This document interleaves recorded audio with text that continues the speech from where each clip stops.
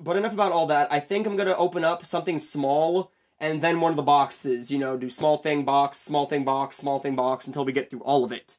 So I'm gonna go ahead and start it off by opening up this uh, first partner pack. It is of the um, what is it called? What is this called? What? Damn it!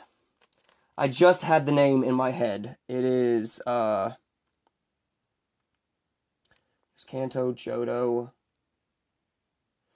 Sinnoh, Unova, Cat uh, Kalos, Alolan, then the, uh, what's Sword and Shield? What is this? Hoenn, that's what it's called!